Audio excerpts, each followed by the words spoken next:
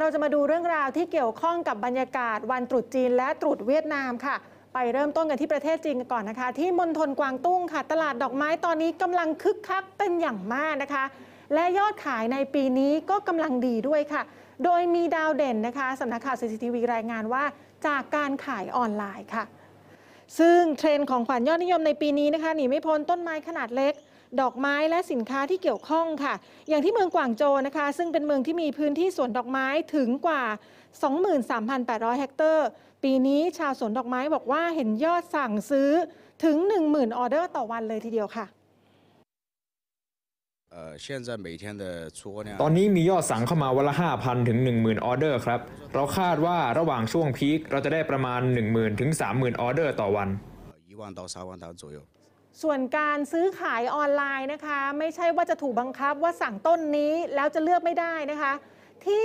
เมืองนี้นะคะที่มณฑลกวางตุ้งนะคะ คนขายนี่จะส่งต้นไม้ไปให้คนซื้อเลือกค่ะ แล้วก็จะได้เลือกต้นที่ตัวเองอยากได้ และถ้าไม่พอใจก็มีนโยบายคืนเงินให้ด้วยนะคะ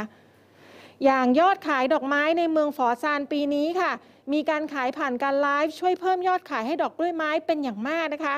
โดยเฉพาะช่วงตรุษจีนค่ะ เพราะเชื่อกันว่า ดอกกล้วยไม้เป็นสัญลักษณ์ของความสุข สุขภาพดีและอายุยืนค่ะ ปีนี้ยอดขายเพิ่มขึ้น 15%ค่ะ แต่ละวันก็จะส่งออกไป 10-20 กล่อง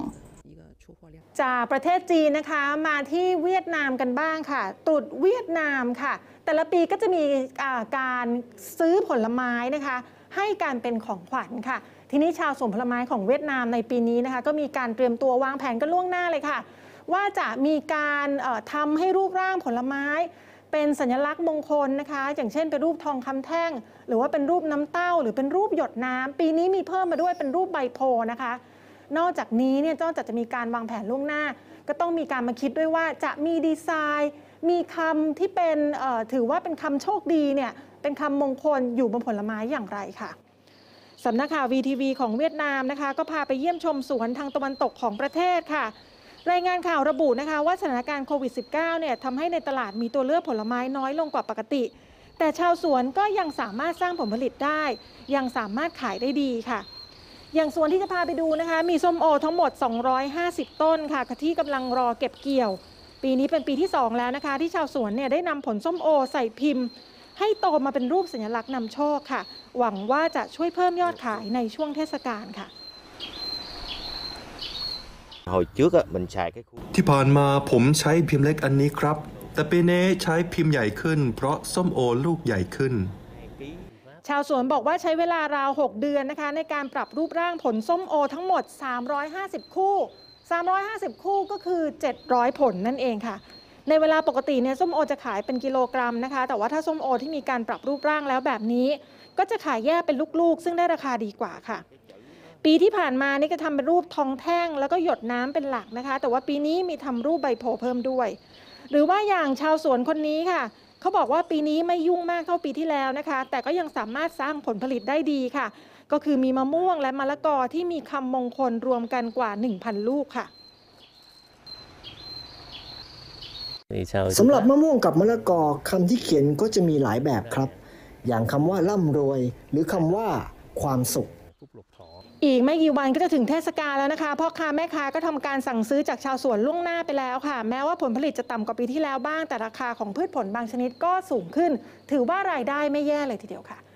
จากเวียดนามนะคะมาที่ประเทศมาเลเซียกันบ้างค่ะตรุษจีนแน่นอนพูดถึงตรุษจีนก็ต้องนึกถึงการเชิดสิงโตนะคะ พิพิธภัณฑ์สัตว์น้ำในมาเลเซียกรุงกัวลาลัมเปอร์ค่ะ มีการจัดแสดงเชิดสิงโตใต้น้ำให้ได้ชมกันค่ะ So the underwater lion dance is something unique to what we do here in the aquarium, where um, we actually have our uh, divers trained and uh, they practice with a underwater suit that is specially made to ensure that you know there's no harm to the animals in the aquarium. It's resistant to salt water, and uh, it's still you know lightweight enough for our divers to do the acrobatics underwater as it is.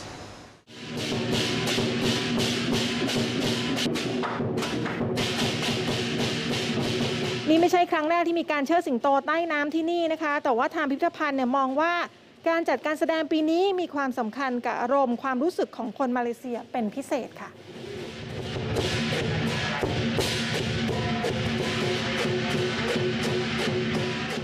Now with the international borders still closed, we find that it's still important to do this because it helps deliver a sense of continuity stability, and um, you know a sense of return to normalcy for most of our la- local population. Um, not to mention the cultural connotations of uh, you know luck, happiness, prosperity, and you know, all the good stuff that. Uh, ก็ถือว่าเป็นการเชิดสิงโตที่ไม่เหมือนใครนะคะทำให้คนมาเลเซียเนี่ยได้รู้สึกมีความสุขสนุกสนานไปด้วยค่ะ และนั่นก็คือทั้งหมดในอาเซียนคอนเน c t วันนี้ค่ะ